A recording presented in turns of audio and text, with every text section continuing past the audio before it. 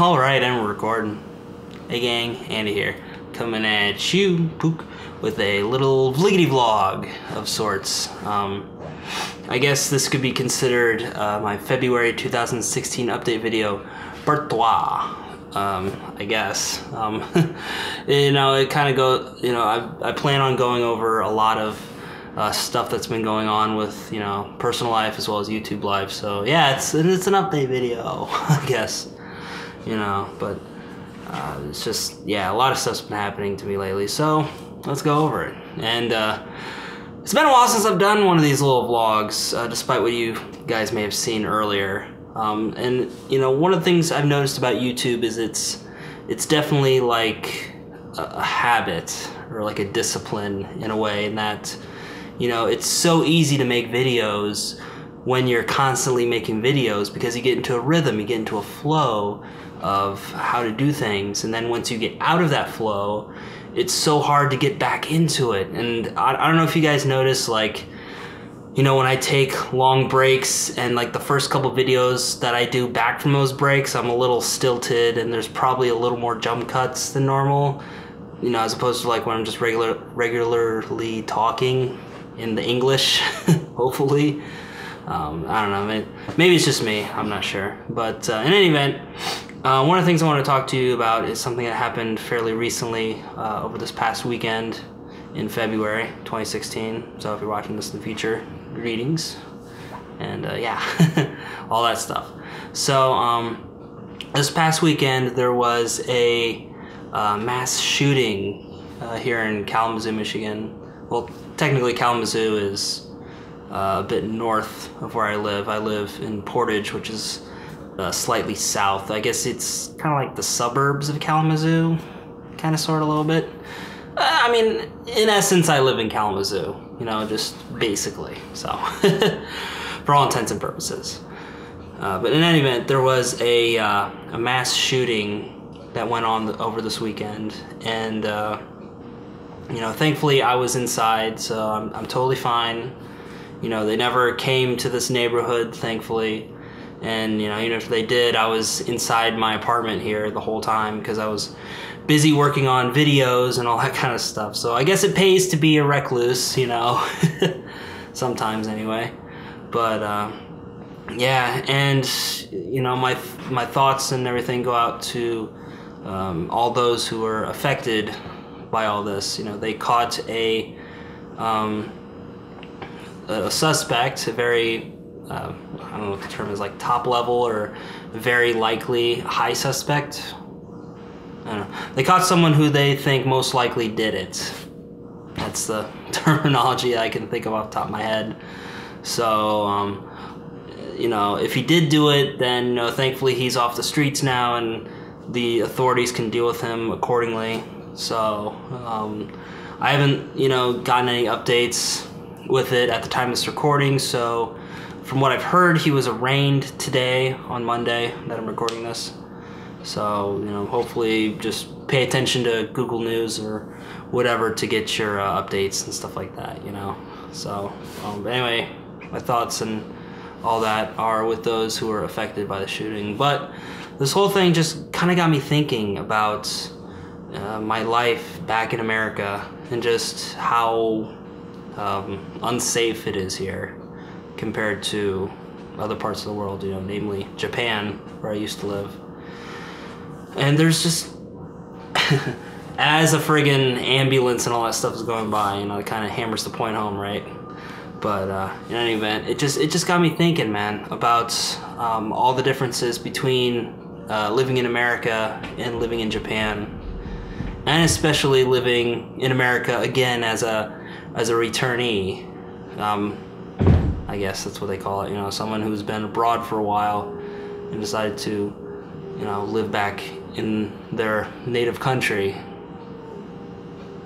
Uh, there goes the dogs next door too. Jesus. I know this video's being made in less than ideal conditions. Sorry about all that.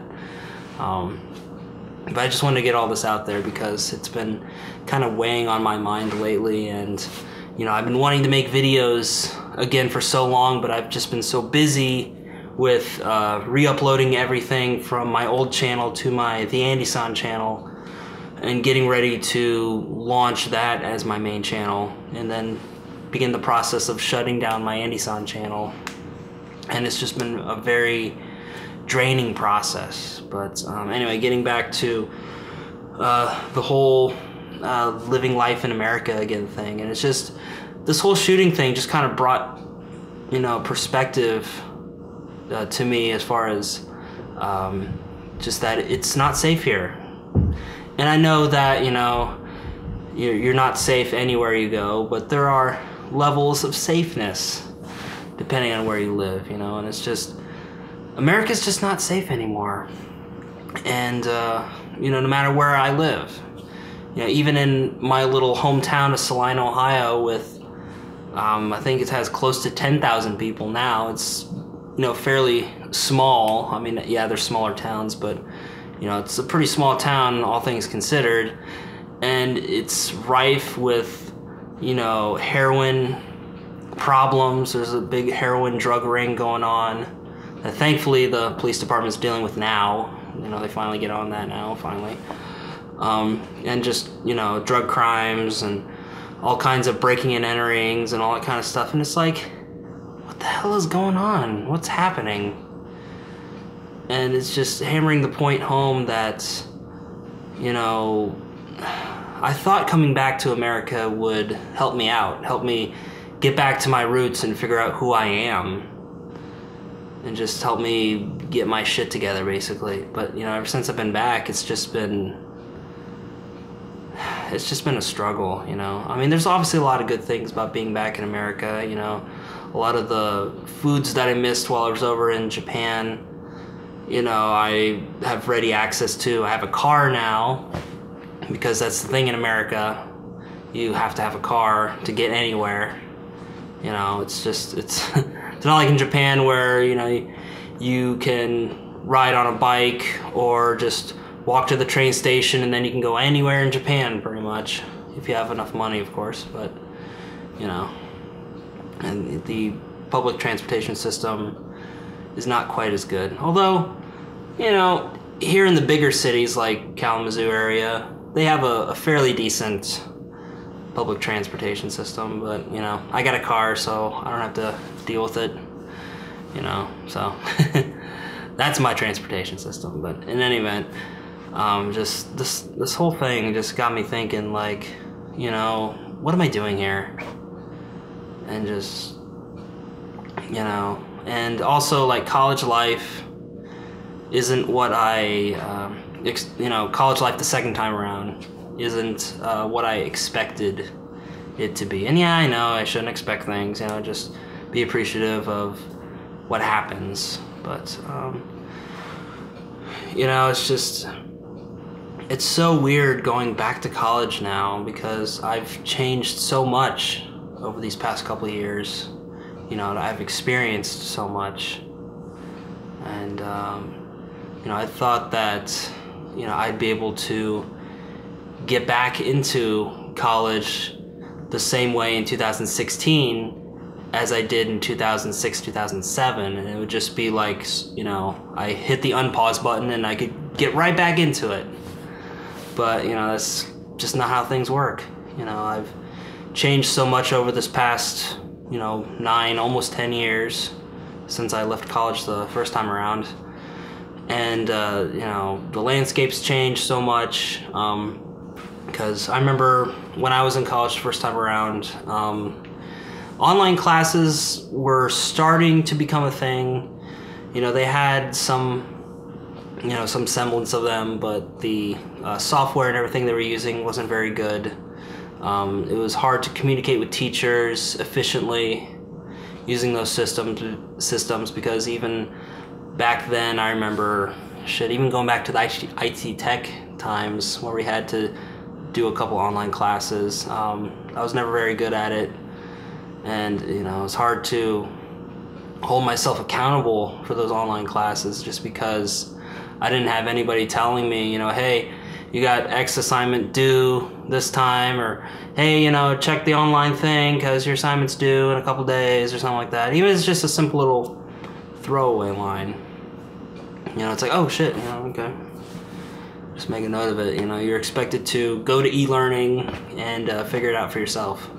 But now they have slightly better tools. It's still not what I ideally would like it to be, but the system has improved, and um, I'm better at communicating with my teachers now than I was then, just because you know I'm different, I guess, from back then. Because back then I was very, very passive, very go go with the flow, and uh, you know I tried to do my best without talking to people. And you know now if something's going on, I can talk to people better. You know I'm still not perfect in that regard, and there's a lot of things that are going on that I should talk to people about, but I don't because I don't want to burden them with my problems all that kind of stuff. But uh, yeah, so there's that, and uh, you know, just going back to college the second time around. You know, being a 30 something, no longer a 20 something. Even though I look fairly young, and most people think, you know, man, maybe he's like a senior or something like that. You know, maybe he's like 21, 25 tops, which I mean is great, but just my whole mindset is different now from when I was that age. And like I can't it's hard for me to relate to those types of people anymore because a lot of their issues and what they're going through is stuff that I've already dealt with for the most part, you know, discovering who you are and trying to, you know, get your shit together as an adult, you know, how to, you know, pay the bills and what to do in that regard. And uh, a lot of that stuff I already have dealt with before, and it's pretty much you can just set it on autopilot. You know, set it and forget it for the most part. So, um, and then you know, just standard you know college drama. You know, it's just like high school plus pretty much, which I don't get into that anymore. And you know, there's a lot of differences now you know, because when I was in college the first time around, I was actually like in college in college. Like, I, did, I was in the dorms and stuff like that, so I was a bit more, you know, in the atmosphere, I guess. And, you know, everything was so new to me at the time because I'd never lived away from my parents before that, that time period, you know, because before I was going to college, I was going to a tech school and uh, I basically commuted, you know, two sometimes three times a week, depending on how many classes I had that quarter. And it was basically just like being back in high school, you know, like except my high school is very far away, and, and I'd only have to go like a couple times a week.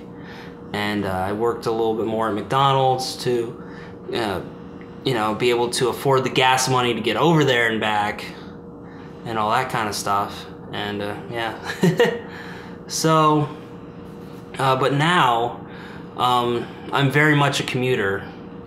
You know, it's kind of like being back at IT, ITT Tech, which was the tech school I went to before, in that um, you don't really invest yourself so much into, you know, the the student so you know student social groups at large. You pretty much just associate with whoever is in your class for the most part. That's kind of what I equate equate uh, this you know time around to college as is you know basically like whoever's in my class I can talk to and you know just goof off and have fun with or whatever the case may be. And then you know at the end of the day, you know they either go to their next class or they're done for the day and I go home. So that's that. You know we don't hang out after class or anything like that. It's just, you know, we're there in the classroom and then outside it's whatever. But um, there are some classes that I do enjoy more than others. Um, my Japanese class being the number one. Um, I'm making a lot of good strides, a lot of good progress in that class. You know, and it helps having been in Japan for a couple years. You know, you kind of know how to pronounce things better. You kind of you know, know a bit more about the grammar and, you know, what certain things are and stuff like that. But that being said, you know, my Japanese was okay at best. You know, like I could answer questions, I could ask fairly simple questions. It was, you know, it was a little above survival Japanese, and it was, you know, pretty much enough for me to get by. But after a while, I kind of plateaued because I was in the English bubble for so long. You know, I was in the Navy, so we didn't really use a lot of Japanese while we were there because it's all in English for the most part. depending on your rate and stuff like that. But it, I digress. But you know, majority of it was English. Um, the only time I had to practice or even use my Japanese was, you know, if I would go to the grocery store, go to the restaurants or something like that, and I would order food or buy food or something like that. And that was pretty much it, really, you know. And uh, you know, there's times I'd go out to Tokyo and stuff like that, and uh, I'd get a chance to use my Japanese. But I know a lot of uh, foreigner YouTubers, you know, the J vlog scene. One of their main complaints about, you know, them trying to use Jap- Japanese in Tokyo or whatever is that all the, all the Japanese people want to do is talk English to you.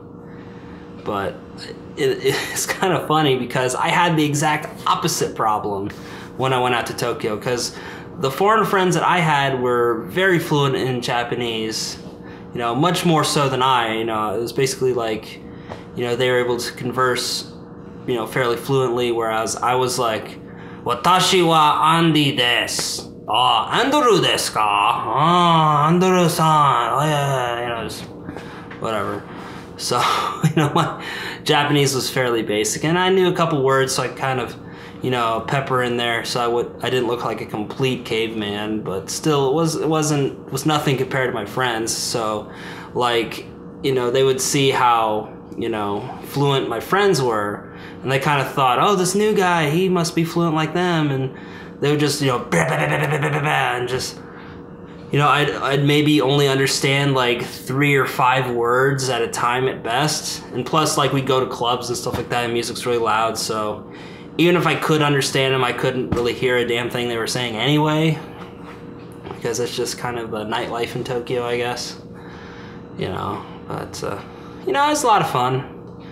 And again, that's another thing I really missed about living in Japan was the amount of friends I had, you know, and just the fact that I got to hang out with YouTube friends, which was a completely new concept to me, you know, because you know, before I moved to Japan, you know, the only friends I had were like friends I made in high school and college, pretty much. And maybe like some work based friends, but except for a handful of them, like I never really hung out with them after work. It was pretty much like with my, you know, school friends at ITT Tech. Like, you know, we'd hang out and joke while we were in class or on break or whatever, but once class was over, like we'd, you know, we'd go our separate ways and stuff like that.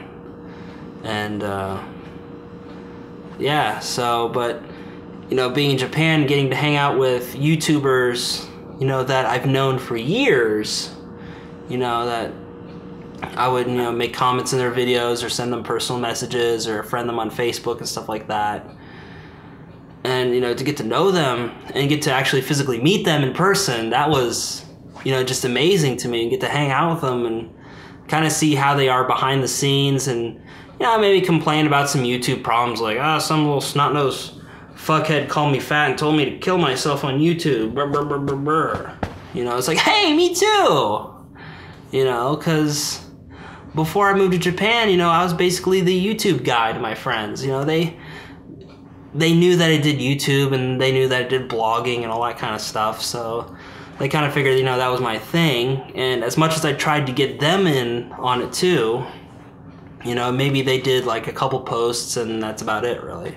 So, you know, I was basically the YouTube guy. So I didn't really know anybody else that did YouTube aside from making like maybe a couple videos back in 2006 and being like, hey, I know what YouTube is. I made this video of me throwing a ball at my bro's face. You know, that's about it, really. You know, whereas I, you know, made my videos and made them on a fairly consistent basis, which is pretty amazing considering you know my work schedule and all that kind of stuff. You know, I tried I tried my best to work around my Navy schedule and still, you know, upload videos on as consistent of a schedule as I could. You know, it wasn't a daily vlog thing, which wasn't really my thing to begin with anyway. But I just I never uh, got to that, but still I was able to upload fairly consistently, you know, and at least like one up one video a week at least, you know, for the most part. And I was able to do that, you know, my whole five year stint in the Navy, which is pretty amazing actually. When I sit down and think about it, you know, I remember when I was on uh, USS Curts, FFG 38. Um, I remember sitting in uh, one of the spaces, one of the sonar spaces, and uh, just working on videos. You know, I recorded a bunch of stuff while we were underway on deployment, and just putting it all together and stuff like that. And it was just, you know, kind of cool. And yeah, maybe I should have worked on some quals, but you know, this was my thing. This was my baby. You know.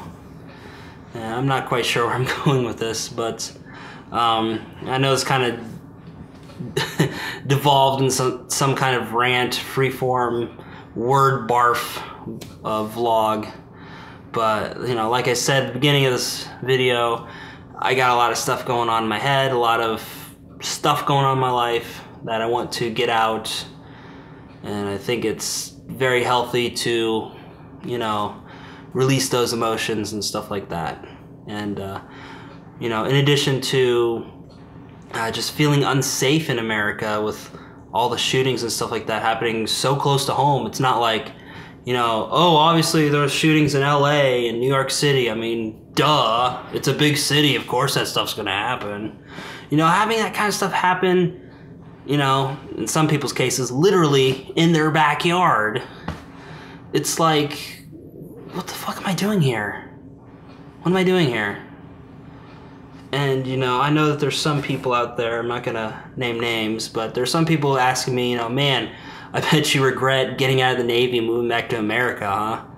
And, you know, I do want to make a, a video going a bit a bit deeper into the subject because it's kind of a you know there's a lot more to it than just you know yeah it sucks I got out of the Navy uh, whatever you know it's not as black and white as that you know it's a little more gray but um, Uh, I guess like the long and short of it is you know, I don't regret getting out of the Navy because, you know, the Navy was never a long term career choice for me, you know, since the day I started. I knew that I was going to do my time. When I was done, get out, go back to college. That was the plan, right? And I did that. I did my time. I mean, I got out a little bit earlier than expected, but I still got out, got my honorable discharge, got my DD 214 honorably, and I'm here going back to college. So um, everything should be good, right? But uh, I don't know, it just a lot of things. You know, it just wasn't really what I thought it was gonna be, and uh, you know, I don't regret getting out of the Navy because at that point in my career, you know, especially once I made second class, I was kind of at the precipice of this decision of, you know, I could re-enlist and then, you know, hopefully make, you know, work my way towards STG1, then later STGC, and, you know, if I wanted to go up from there or just retire at STGC, you know, that's on me. But, like, that was the basic long term uh, career path that I was looking at you know, and especially since I made STG two so quickly. I, I only I made I made second E5 for, you know, those who don't know, in like two years and five months. On the Curts during that promotion cycle, I was the fastest to get promoted to second. There, I beat out an FC by two months. so, you know, that was pretty cool. And I was the first of my, um, not the first of my boot camp class, because there was like two or three others that made second before me on that on that part, but I did manage to beat out everybody in my A school class and my C school class to make in second. So, you know, I was really proud of that. So, Uh, but you know, ever since I left the Curts, it was just um, I didn't really know what my place was. I knew that uh, Lassen, you know, the people in Lassen wanted me to step up as a second class and assume leadership, and you know, discipline the uh, the division and stuff like that. Deal with paperwork and maintenance scheduling and work center sup stuff. But it just, you know, I had to sit down and think about it because that wasn't really my strong suit.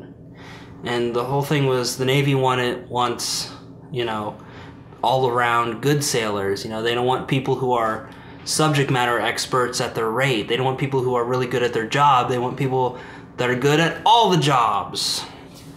You know, that are that know everything about their rate, that you know, do command collaterals, they do stuff outside of the command. You know, they're one of those hard charger alpha male or alpha female types. You know, no bait is allowed. You know, Mr. or Mrs. Get her done type, you know, go getter person. And that's really not me. I'm not Mr. Alpha male, you know. I I'm very much a laid back kind of, you know, if something were to go wrong, I would approach the person one on one rather than, you know, try to discipline them or correct them in front of people. Um, I don't really like confrontation. It's just a lot of these things added up, and uh, I just, I just didn't like where my career was going in the Navy at that point. And I just, I became frustrated with it.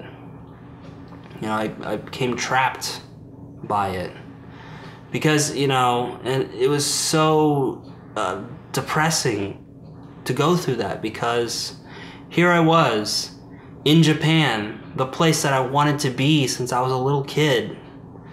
You know, since my cousins went off and, you know, told me so many good things about Japan and shared their stories about it and mailed me back stuff from Japan. It was just so cool and so different.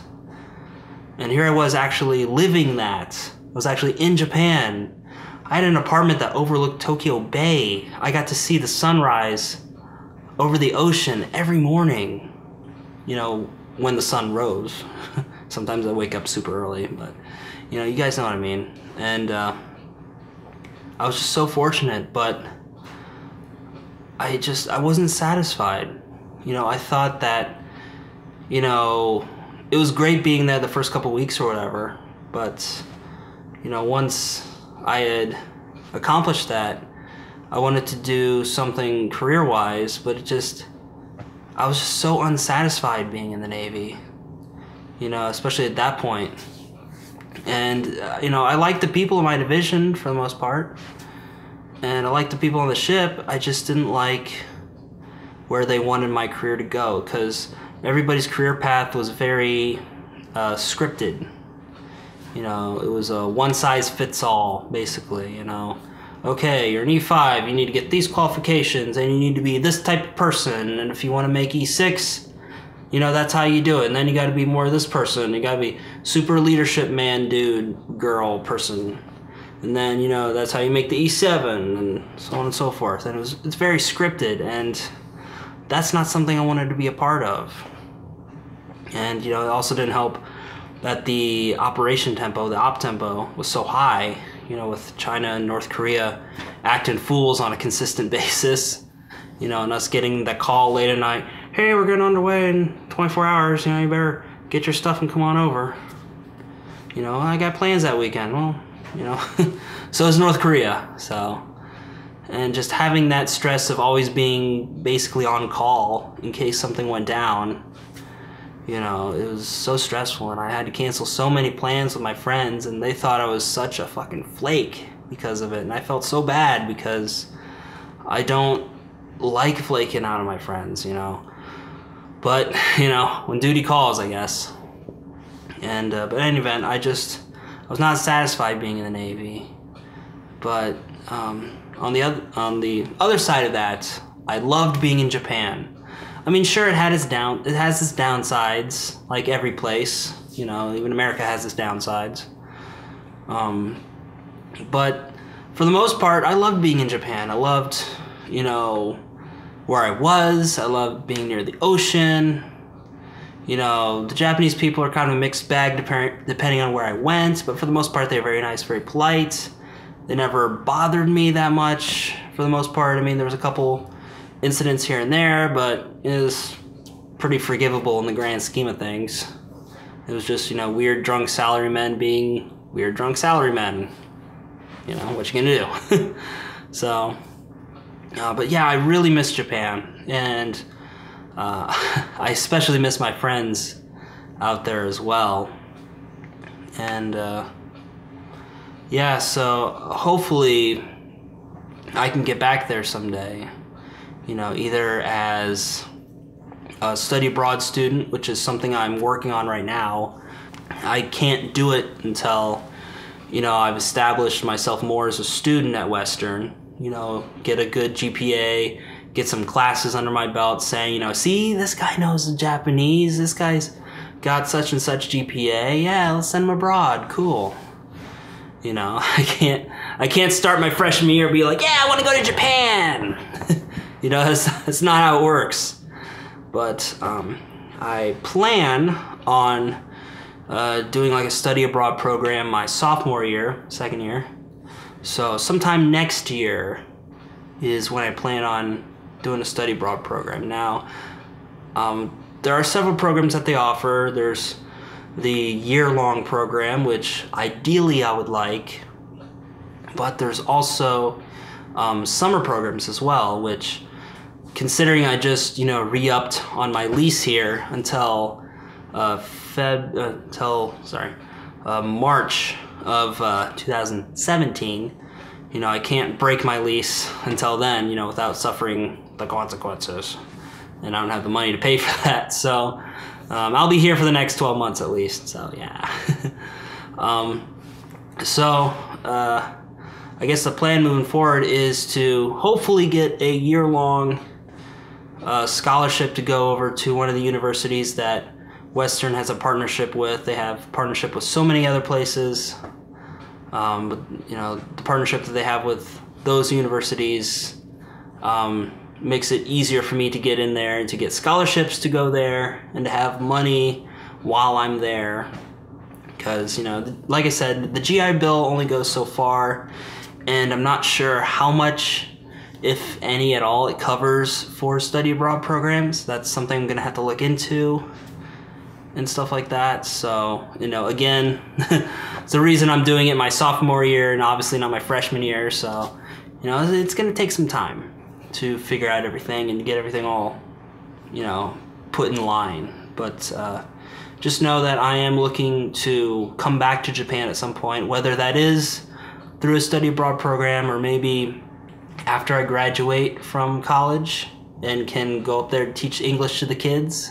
Uh, I want to continue with this video, but I could see that ba my battery for all the things is dying, and I have so much more to tell you guys. But um, I guess that's just where where we'll leave it here for now. And uh, yeah, so that said, this is the Andy-san. Sign for now. Thinking you guys, Poop, for tuning in to this rambly video. I guess this wasn't so much of an update video after all. Um, it's just uh, rambly blah. so, um, thank you guys for tuning in this video and for uh, watching my stuff. Also want to thank you guys for liking the thumbs, commenting, subscribing, sending your friends to the party. And hey, as always, we'll see you next time. Catch you later, guys. Bye.